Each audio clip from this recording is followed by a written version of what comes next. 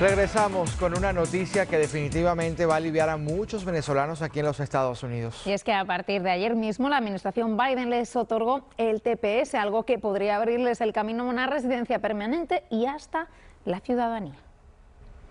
El mundo sabe que queremos y no podemos volver. Luz verde para venezolanos como Adriana Zavala, que han permanecido en las sombras. Este 8 de marzo, un anuncio de la Casa Blanca cambió la situación migratoria de cientos de miles que viven en Estados Unidos. La decisión de hoy de ofrecerle el estatus de protección temporal a los venezolanos en los Estados Unidos marca una gran victoria en nuestros esfuerzos para crear un sistema migratorio más justo y sobre todo humano.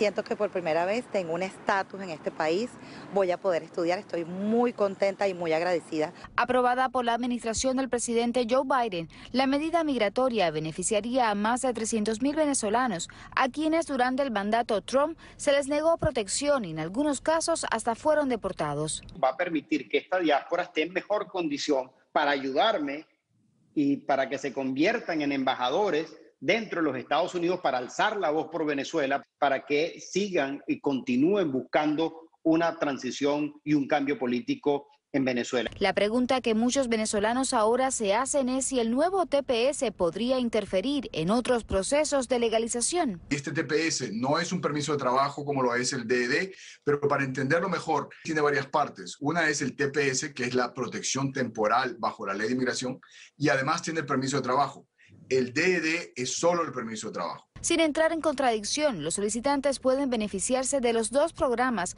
pero según este otro abogado de inmigración, teniendo en cuenta una ley presentada en el Congreso. Al ser miembros del TPS, si pasa la ley, van a poder aplicar directamente a la residencia permanente y eventualmente a la ciudadanía estadounidense.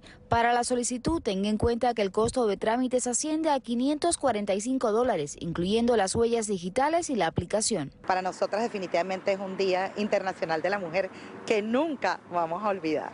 Soy Marilyn Legañoa, y ganadora con más de Telemundo 51.